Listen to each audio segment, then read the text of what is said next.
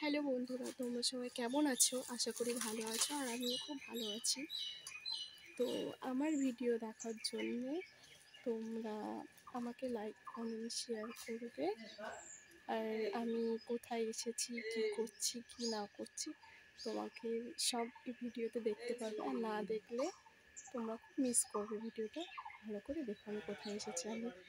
আমি স্কুলে এসেছি, আমার দিদির স্কুলে, যেহেতু আমার দিদি স্কুলে কাজ করে, তো আমি তোমাকে সব ঘুরে দেখাচ্ছি। তো দেখো তোমরা দেখতে এই যে স্কুল আমার দিদি। হ্যাঁ যে স্কুলে এসেছি ঠাকুমা রান্না করে। তো এখানে পড়াশোনা হয় বাচ্চাদের। এখানে পড়াশোনা করা হয়।